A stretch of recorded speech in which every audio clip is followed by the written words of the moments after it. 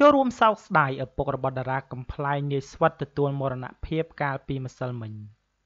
តារាកំ pl ែងប្រុសដ៏មានប្រជាប្រិយភាពនាយស្វិតកំពុងតែជួបទុក្ខជាទម្ងន់គ្រួសារទាំងមូលកំពុងតែយំសោកយ៉ាងខ្លាំងក្រោយពេលសោកស្ដាយជាខ្លាំងព្រោះត្រូវបាត់បង់គ្រួសារឪពុកជាទីស្រឡាញ់ត្រឹមតែរយៈពេលដ៏ខ្លីកាលពីម្សិលមិញនេះ នាពេលនេះដែរពិធីបុណ្យសពរបស់លោកឪពុកលោកកំពុងតែប្រព្រឹត្តឡើងយ៉ាងសោកស្ដាយនិងក្រៀមក្រំជាទីបំផុតនៅព្រឹកនេះស្របពេលដែលគ្រួសារទាំងមូលមិនទាន់ដាច់អាល័យនិងស្រណោះដល់អ្នកមានគុណរបស់ខ្លួនយ៉ាងខ្លាំង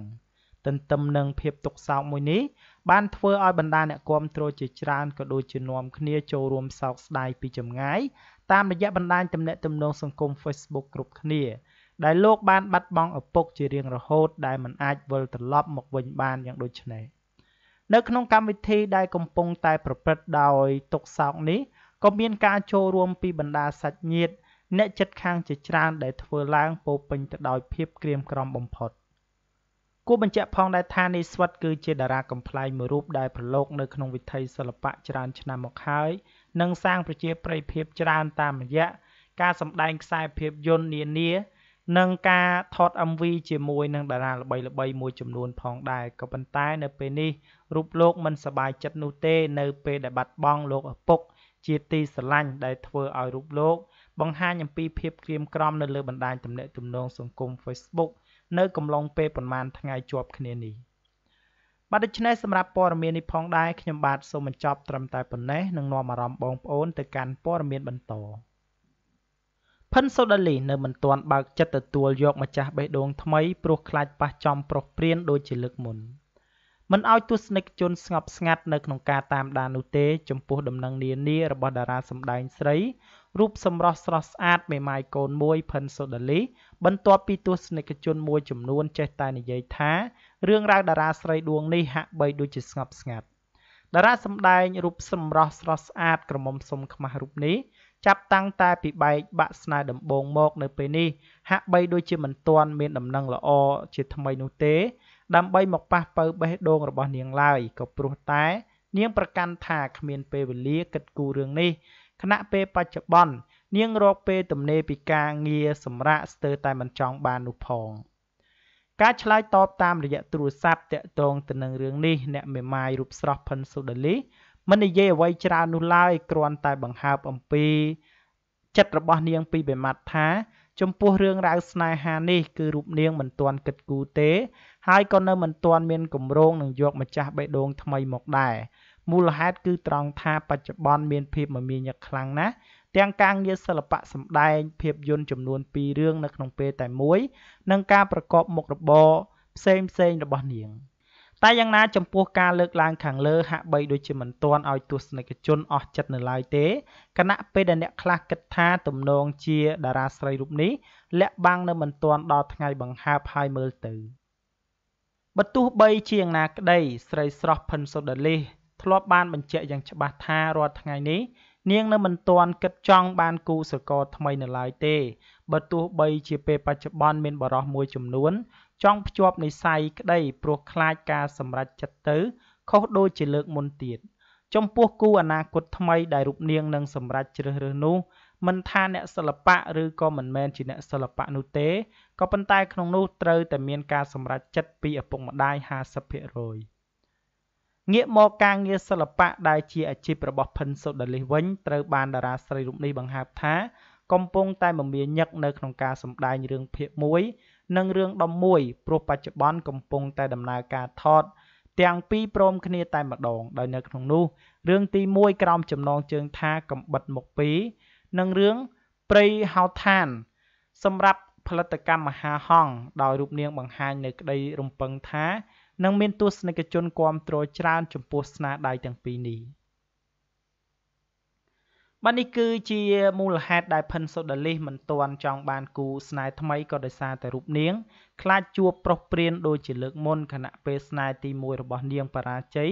បន្សល់ទុកនៅកូនស្រីម្នាក់ជាទីស្រឡាញ់នៅក្នុងគ្រួសាររបស់លោកអិនសុផិនផងដែរ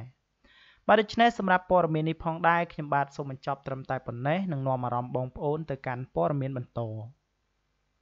ដាញ់ម៉ូនីកាបង្ហាញសញ្ញាអវិជ្ជមានជាលើកដំបូងនៅក្នុងគ្រួសារអតីតតារាសម្ដែងពូកែបង្ហូរទឹកភ្នែកអ្នកនាងដាញ់ម៉ូនីកា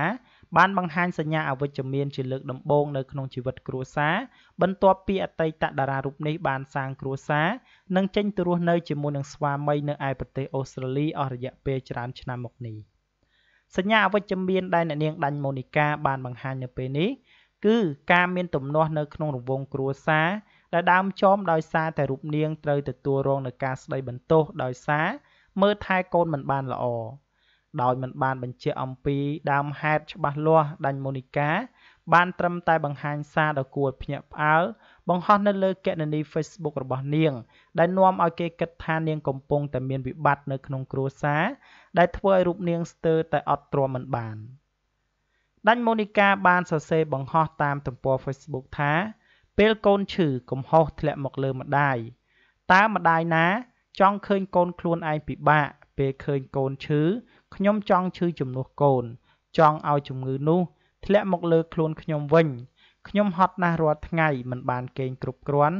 បើកភ្នែកឡើងមានតែការថាឲ្យជារៀងរាល់ថ្ងៃខ្ញុំឈប់ទ្រាំហើយសូមចប់